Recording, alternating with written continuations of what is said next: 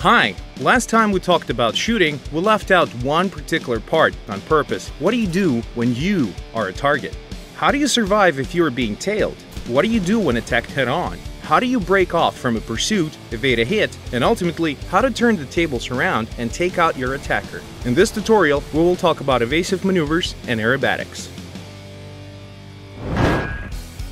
The first thing you need to know, each aircraft is different, so is their arsenal of air stunts they can perform. Max speed, turn radius, stall speed, and many other factors can influence which moves you can do. Never try and engage in tight dogfighting on a German Focke-Wulf or perform a boom and zoom on a Japanese Zero. So before you venture out into battle with your new aircraft, you best take it out for a test flight. The second thing to remember, even if you are natural at aerobatics, you still need to keep a close eye on your surrounding vicinity. If you do not constantly monitor what's around you and your radar, you will never have time needed to perform a defensive maneuver, regardless of how good you are with a flight stick. Finally, if you want to truly succeed in tricky business of aerobatics, you must learn the basics of pitching and flight dynamics. Most players use the game's default control scheme. For those of you who wish to get better than average player, we offer these slight changes to your control scheme. Instead of default page down and page up keys, set up control and shift as your positive and negative pitching, respectively. You will use these keys with your left hand. Now, let's jump into the fray. One of the most popular types of attack in the arcade mode battle is a head-on attack. Some players also use it in the realistic mode as well. Okay, we have an enemy aircraft heading directly at us. That plane is heavily armed too. He's got 20mm cannons. While cannons on our aircraft are built into the wings and are converged at the standard 400 to 600 meters, we are at a disadvantage here, but we're no cowards, right?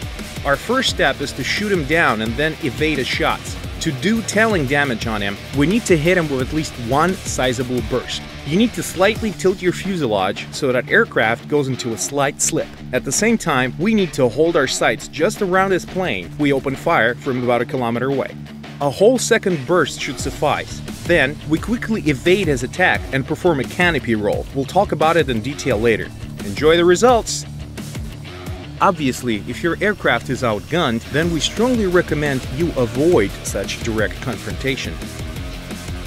Now, let's talk specifically about aerobatics. You have to understand that not all maneuvers are performed the same way in arcade and realistic modes. Now, let's take a closer look at the most common maneuvers. Barrel roll and canopy roll. Barrel roll is one of the most common and easy to perform air maneuvers. The aircraft is rotated 360 degrees around its horizontal axis. In order to do this, simply hold one of the roll keys until the plane is fully rotated.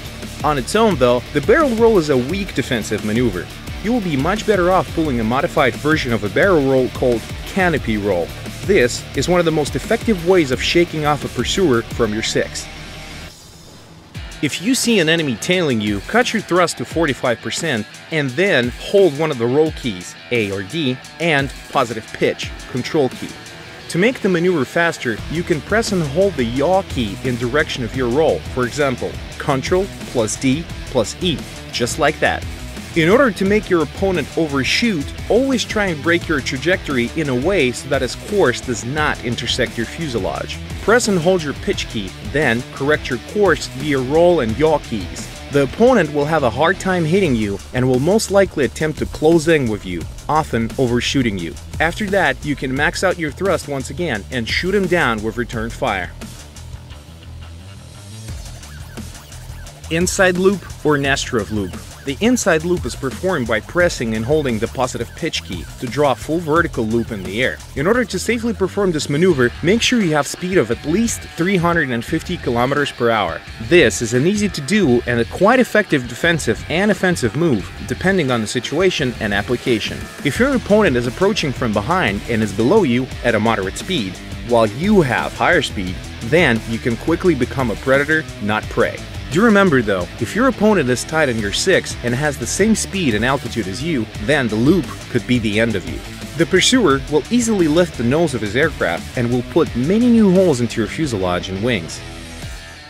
Immelmann turn is normally an offensive maneuver. It starts as a loop, then, at the highest point of which you do a half barrel roll, returning your plane back into a horizontal flight. This is a good move if you want to attack enemy head on. Before you begin this move, cut your thrust to 70%, then raise your aircraft nose by 70 to 90 degrees, at which point you max out your thrust. This is the optimal way of performing this maneuver. Split is basically the same as Immelman turn, but its basic stages are performed in a different order. You first do a barrel roll to put your plane belly up, then, using a positive pitch, the control key, you do a half loop downwards. You can use this move to effectively dodge a boom and zoom attack or any other attack coming from your rear top side. Keep in mind that you use this move to evade from your opponent. Your enemy will have a hard time tailing you at such high speed. Your thrust should be manipulated in the same fashion as during Immelman turn. First, reduce it by a third, then max it out. Renversement. Renversement is a solid attack maneuver. It allows you to do a quick 180 degree turn. First, increase your speed, then climb at 60 degrees. When you reach the stall speed, use your rudder to turn. If your plane is attempting to drop into its back, then hold your negative pitch key, the shift key. When your aircraft turns first 90 degrees, cut your engine to a minimum as you finish your turn. Then, enter a dive at 60 to 80 degrees. For a better flight stability, you can also extend your flaps to a landing position at the highest point of a maneuver. We do not recommend doing this move while playing arcade mode. While turning, your plane will be almost immobile at the highest point of the turn, and anyone half good with his lead marker will easily down you as you finish your maneuver.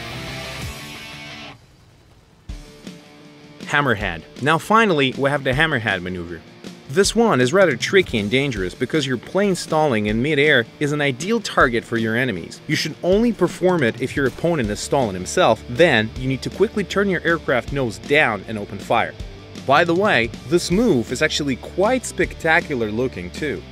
You need to keep your plane's nose as vertical as possible. Then, when your speed is low enough for you to stall, you reduce your thrust to about 50 or 60%. Then, you turn your aircraft down using your rudder, Q and A keys. At last, you max out your engine thrust. More importantly, do not allow your plane to stall into its back or belly. Always keep it in control using your pitch. Just as during the renversement, you can extend your flaps for better stability at the highest point of the maneuver.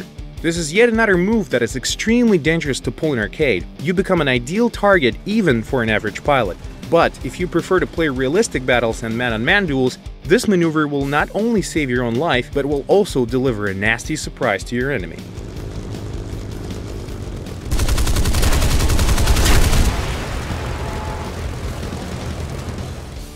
Well, this is it for the aerobatic and combat maneuvers. Good luck in the skies.